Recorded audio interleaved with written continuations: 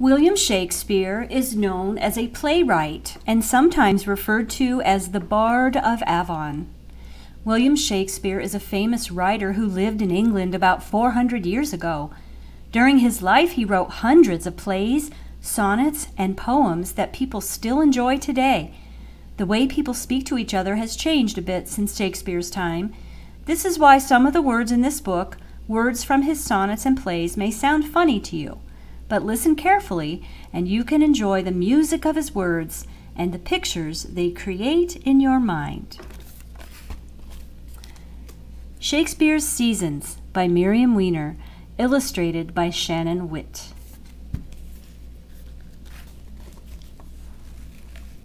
Can you see the seasons depicted in these trees?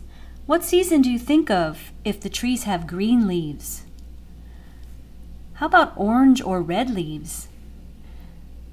How about no leaves at all?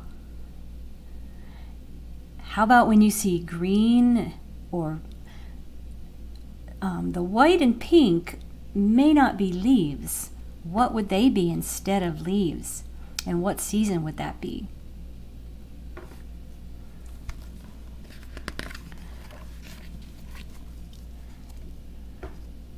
Shakespeare's Seasons by Miriam Weiner.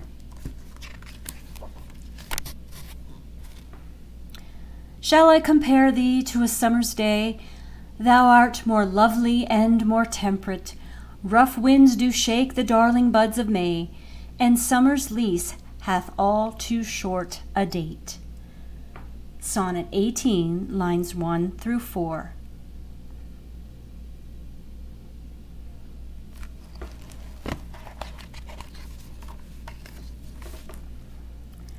Hot lavender, mints, savory, marjoram, the marigold that goes to bed with the sun and with him rises weeping, these are flowers of middle summer. From The Winter's Tale, Act 4, Scene 4, lines 104 through 107.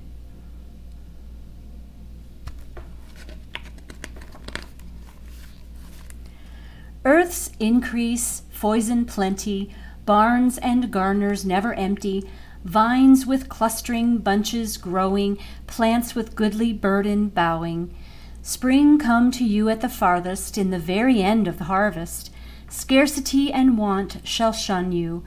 Garrus blessing so is on you. From The Tempest, Act 4, Scene 1, lines 110 to 107.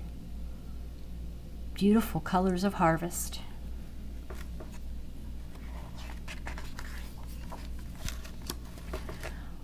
For summer and his pleasures wait on thee, and thou away the very birds are mute, or if they sing, tis with so dull a cheer that leaves look pale, dreading the winter's near.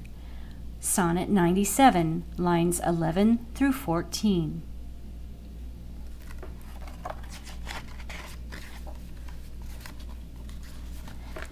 Blow winds and crack your cheeks Rage, blow!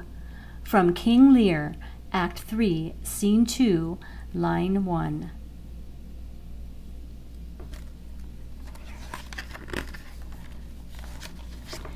At Christmas I no more desire rose Than wish a snow in May's new fangled shows, But like of each thing that in season grows. From Love's Labours Lost, Act 1, Scene 1, lines 105 to 107.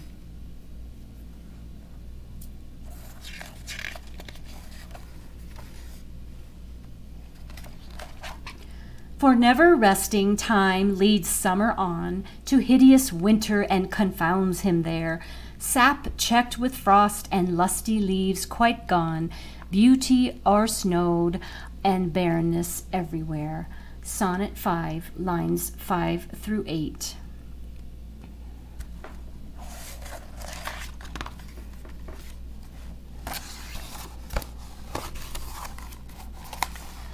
But flowers distilled, though they with winter meet, lease but their show. Their substance still lives sweet. Sonnet 5, lines 13 through 14.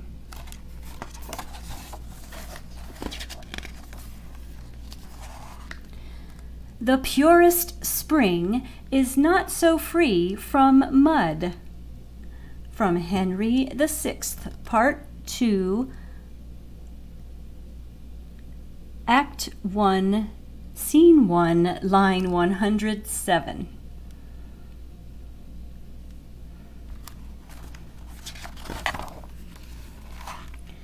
The uncertain glory of an April day, which now shows all the beauty of the sun, and by and by a cloud takes all away. From the Two Gentlemen of Verona, Act 1, Scene 3, lines 85 through 87.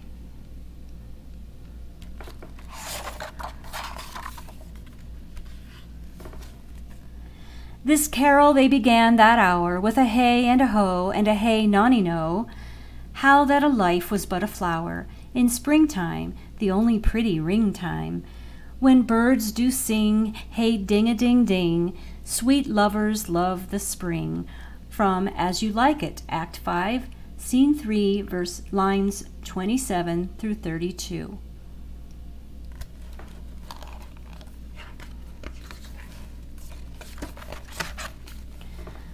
Blow like sweet roses in this summer air. From Love's Labors Lost, Act 5, Scene 2, line 293. Blow like sweet roses in this summer air.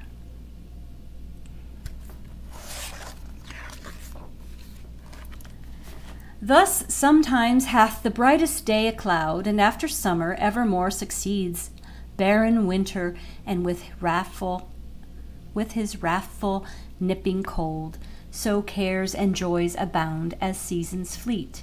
From Henry VI, Part 2, Act 2, Scene 4, lines 1 through 4.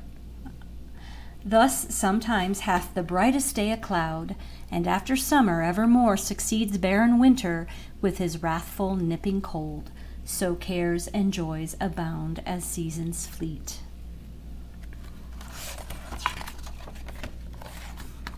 The End. Shakespeare's Seasons by Miriam Weiner.